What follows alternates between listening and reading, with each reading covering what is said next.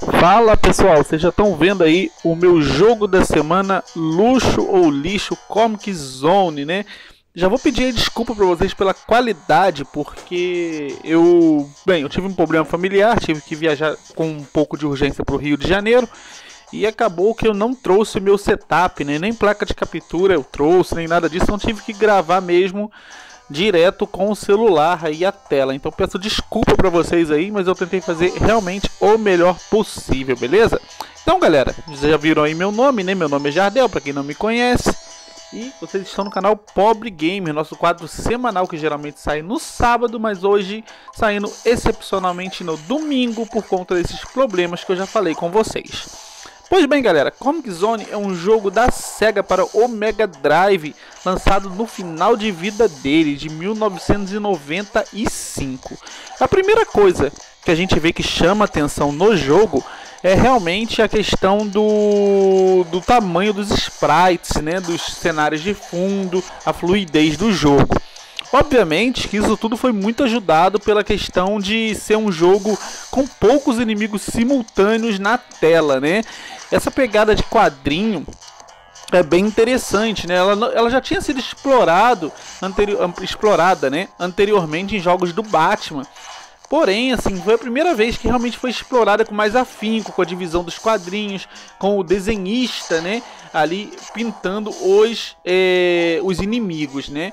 Na história, a gente comanda o Turner, né? Que na verdade ele é o desenhista dessa história. Só que o vilão, quando cai um raio ali, né, ele tá desenhando o jogo no início, a revista em quadrinhos no início do jogo, né? cai um raio ali e, e ele acaba indo para dentro da história, né? Eu tô jogando a versão é, do Mega Drive Genesis Collection do Nintendo Switch e por isso aí que vocês viram que eu me perdi um pouquinho nos botões, né? Porque esse jogo ele usava muito bem os botões, é, o controle de seis botões do Mega Drive, né? Então o X ali seria o primeiro item, o Y o segundo e o Z o terceiro, né? No Nintendo Switch isso ficou um pouco mudado, porque você usa o LR e o botão X, né, que é o botão de cima. É, e aí fica e aí de vez em quando fica um pouco difícil você lembrar qual o comando correto para você escolher a, a, ação correta ali para você não desperdiçar algum item, né? É, o jogo tem é super colorido, tem inimigos é, bem variados, né? É, as fases também são bem diferentes. Fez um bom uso aí da paleta de cores do Mega Drive e também assim a, a mecânica de jogo, né? É um jogo beat'em up, é, mas ele assim ele tem bastante níveis realmente diferentes, né? O que, o que é muito legal assim para não ficar um jogo repetitivo. É um jogo assim que ele é difícil, gente. Ele não é um jogo fácil de ser fechado, não. Com certeza, ele teria feito bem mais sucesso do que fez é, se ele tivesse sido lançado talvez um momento antes do Mega Drive, tipo 93 e 94, porque ele teria continuação e tal. É uma pena, até, aliás, esse jogo não ter uma continuação, né? Então ele ficou ali bem no crepúsculo. Muita gente, inclusive na época, nem jogou né? Acabou não jogando, o pessoal já estava pegando ali já o PlayStation, o Sega Saturno, né? O 3DO. Então, é, muita gente acabou que nem conheceu esse jogo, né? Mas é um jogo realmente assim espetacular, muito bom mesmo de ser jogado. É um jogo que eu sempre, aliás, revisito, né? Eu mesmo já joguei aqui no canal é, algumas vezes, né? Esse pulo aí no final da fase é bem chatinho, viu? Eu já morri algumas vezes aí. Se morrer aí, morreu, né? Não tem, não tem choro nem vela. E aí agora para a segunda fase, aí vamos para a segunda fase, aí vem aí um o personagem vai se é, sendo desenhado. Ah, o objetivo do Turner aí no caso é vencer todos esses inimigos e vir novamente para o mundo real, né, para acabar aí com o vilão da história em quadrinhos. Outra coisa aí que está acontecendo, vocês estão notando, quando eu destruo uma porta ou qualquer coisa, o jogo é tão duro que você perde energia, né? Você perde energia aí é, quando você é, dá um soco numa, numa superfície é, dura, né? Então é, é, outro desafio também, né? Se você tiver uma bomba e sabe que vai ter uma outra na frente, Talvez é melhor você usar a bomba e depois você já pegar a nova bomba, né? Para não ficar perdendo energia ali batendo nos, é, nos obstáculos, né? Nessa parte aí eu dei um pouco de mole, na verdade é até bem fácil, assim, logo quando vai saindo os inimigos desses, desses casulos aí, né? Já dá pra ir eliminando-os, né? Mas eu acabei que eu, que eu dei mole, mas aí eu, o que que eu fiz? Eu vou ficar do lado ali é, esquerdo daqui a pouco, que aí não vem nenhum inimigo por isso, assim, ó, que aí não vem nenhum inimigo por trás, né? E é isso. O som do jogo, gente, eu acho o som muito legal. O som dos golpes e tal, tudo casa muito bem. Também esses balões que aparecem, né? De pou, tipo assim, como se você estivesse batendo é, nos inimigos, como se fosse uma história em quadrinho mesmo. É uma pegada muito legal.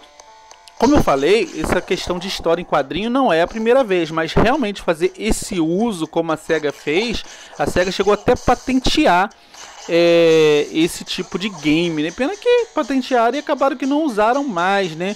Aí fiquei um pouquinho perdido aqui, botão eu teria que usar, né? Aí usei aí, agora o ratinho vai parar essa lâmina, né? E aí eu vou usar ali a bomba, é, porque tem uma bomba um pouquinho mais à frente, eu conheço bem o jogo, né? Então para não ficar perdendo energia ali, já usei a bomba aí e isso aí. E aqui, ó, você tem que botar ali a caixa de, de, de, de, de explosivo e sair de perto, tá? Se você ficar perto ali, tiver pouca energia, é morte também. Né? Uma outra coisa, como eu falei, esse soco que vocês dão nas superfícies duras, você perde energia, mas você a, é, a, energia não se zera, tá? Então você pode ficar ali com o mínimo do mínimo de energia, mas você não morre por conta disso, né? Então é, tem, tem essa questão também, você acaba não morrendo ali, esmurrando, mas você fica com pouca energia, você depois enfrenta o inimigo e qualquer golpe que você levar vai ser morte. Aqui que eu falei que tinha mais uma bomba ali no canto, tem que tomar cuidado para não cair, porque tem um inimigo ali embaixo que se você cair sem usar a bomba, é perder muita energia ali, tá? Então eu já jogo a bomba ali, ó, já mato o inimigo lá embaixo, né? E estamos indo aí, indo aí para os finalmente do jogo. Aqui um puzzle simples, né? Colocar ali uh, aqueles ponteiros na, na, na horizontal ali se completando, né? E para fechar o circuito, e aí você faz a explosão e vai para essa parte de baixo.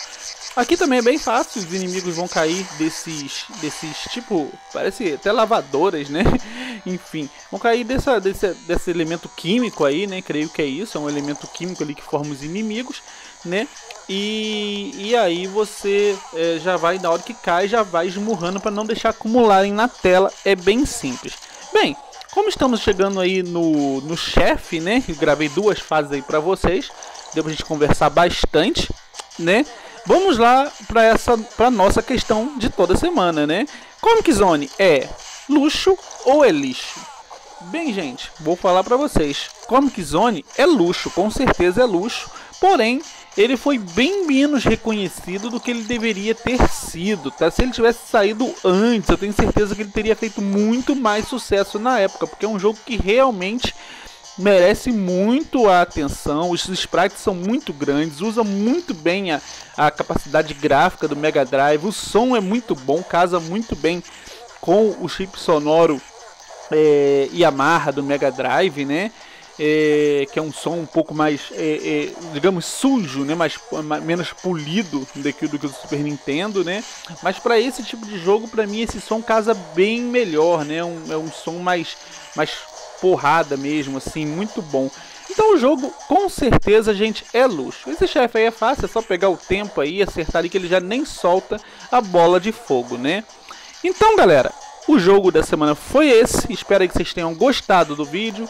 Desculpe aí a qualidade não ser aquela normal que vocês estão habituados, mas semana que vem com certeza a gente já vai estar com o nosso setup novamente que vocês já conhecem, que já está consagrado aqui no Luxo ou Lixo, tá? E eu tenho certeza que vocês vão entender aí que tentei fazer aqui o melhor possível para não deixar sem conteúdo. Valeu, gente, um grande abraço, tô indo nessa. Fui! Valeu!